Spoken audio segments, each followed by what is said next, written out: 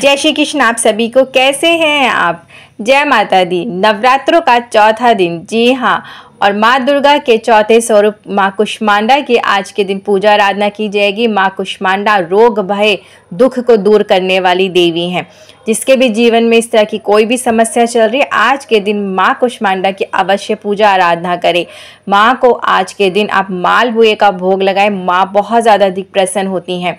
उन्हें मालपुआ बहुत ज़्यादा अधिक पसंद है। तो आप ज़रूर से ज़रूर आज का माँ को मालपुए का भोग लगाएँ और प्रसाद स्वरूप सभी परिवार के सदस्य ग्रहण करें।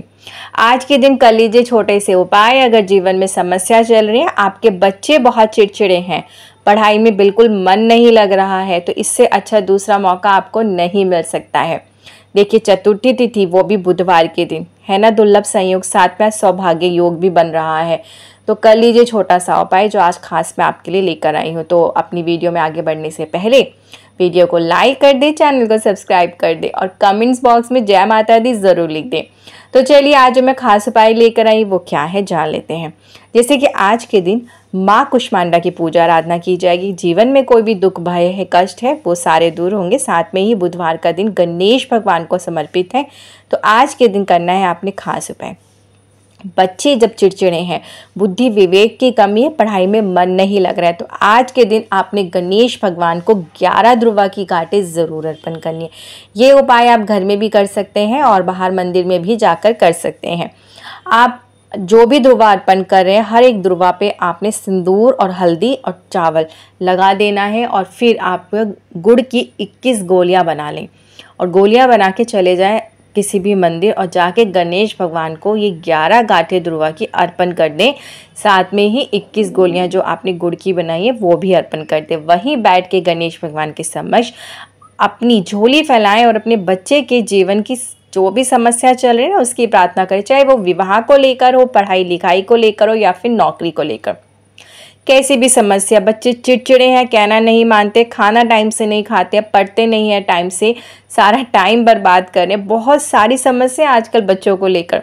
खाना खाने में बहुत ज़्यादा परेशान करते चिड़चिड़ से हो जाते गुस्सा करते हैं, कहना नहीं मानते हैं, पढ़ाई में मन नहीं लगता है उनका। तो आपने इस तरह से प्रार्थना करनी है गणेश भगवान से, माँ पार्वती से प्रार्थना करनी है कि हे गौरी के लाला, मेरे भी बच्चे को सद्बुद्धि और ज्ञान दे, जो भी उसके जीवन में समस्या चल रही, वो सारी विघ्न बाधाओं को आप दूर करें। उसके बाद आपने एक ध्रुवा की गांठ और पाँच गुड़ की गोलियाँ उठा के घर लेके आ जाना है। घर लाकर आपने करना क्या है? इस जो ध्रुवा आपने चढ़ाई थी गणेश भगवान को, इस ध्रुवा को आप अच्छे से पीस लीजिए जो आप उठा के घर लेके आए। पीस के गुड़ में मिलाएँ और मिला के कोई मीठी चीज़ आप बना लें।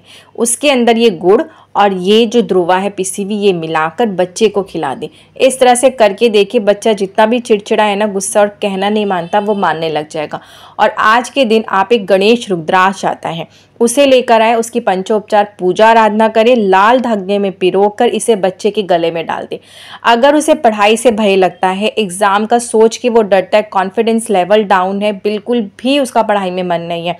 तो ये गणेश रुद्राक्ष आज के दिन पहनने से उसका पढ़ाई में मन भी लगने लगेगा। अगर पढ़ाई से रिलेटिव कोई भी समस्या चल रही है, एग्ज़ाम में उस से डर लगता है, पेपरों का सोच के डर लगता है और मेहनत करने के बाद भी अच्छे नंबर्स नहीं आ रहे। या वो मेहनत नहीं कर पा रहा, उसका फोकस नहीं है पढ़ाई में, कैसी भी समस्या हो, पढ़ाई को लेकर वो सारी दूर होती है। तो ये ज़रूर से ज़रूर बच्चों को, जो भी पढ़ाई वाले बच्चे हैं, उन्हें एक गणेश रुद्राक्ष हमेशा धारण करना चाहिए। और आज के दिन से अच्छा दूसरा दिन कोई नहीं है। आज ज़रूर से ज़रूर आप अपने बच्चे को गणेश रुद्राक्ष धारण करवाएँ।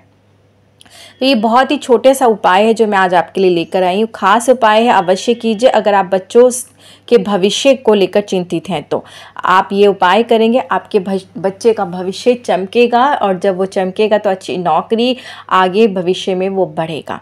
वीडियो कैसी लगी आपको, प्लीज़ ज़्यादा से ज़्यादा शेयर करें, लाइक करें, सब्सक्राइब करें और सब्सक्राइब करते समय बेल के बटन को ज़रूर दबाएँ, जिससे कि मेरी वीडियोस की सारी नोटिफिकेशन आप तक अवश्य पहुँचे। आप मुझे आगे दीजिए, फिर मिलते हैं कुल ऐसे ही कुछ ऐसे ज्योतिष उपाय के साथ में जिसको करके आप अपने जीवन की समस्त परेशानियों को दूर कर सकते हैं। और कमेंट्स बॉक्स में जय श्री कृष्णा लिखना मत भूलिएगा। आप सभी को जय श्री कृष्णा।